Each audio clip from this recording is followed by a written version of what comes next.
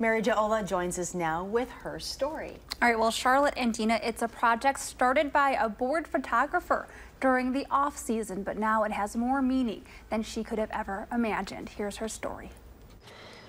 Can I hear a little giggle?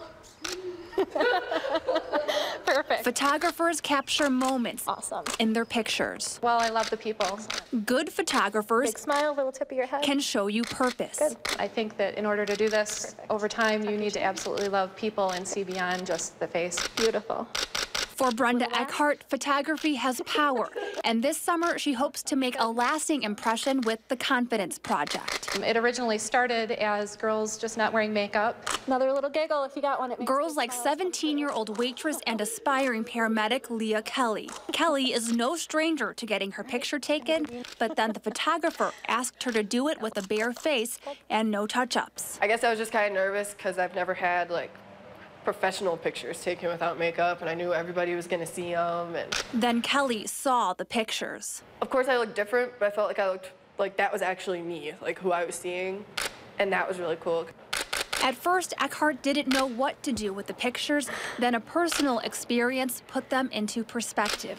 She found out her daughter Skylar was being bullied. It rocks your world. It rocked her world, and it definitely rocked her confidence.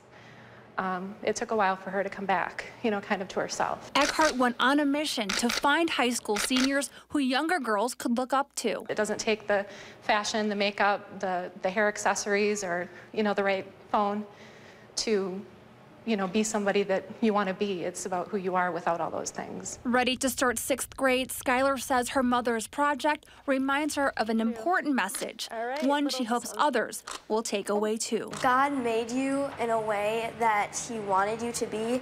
So He wanted you to be yourself, obviously, and you should just be proud of who you are. Now, Eckhart plans on continuing the project through the summer. You can head to brendaeckhart.com or channel3000.com for more information.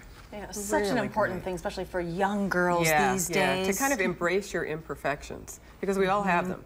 Yeah, mm-hmm. yeah. Mm-hmm. And if you think about, you know, when we were in sixth grade back in those days, you know, it was hard enough as it was, and now with social media and Oh, the gosh. selfies and the Seems like- Yeah, filters, yeah, there's yeah. and the it's clothes and the makeup and the hair and the yeah, it's just so much peer pressure too. and it's a mm-hmm. competition, it almost mm-hmm. seems. You mm-hmm. know, no competing. Yeah, great Thank project. you. Thanks. Thanks. Yeah.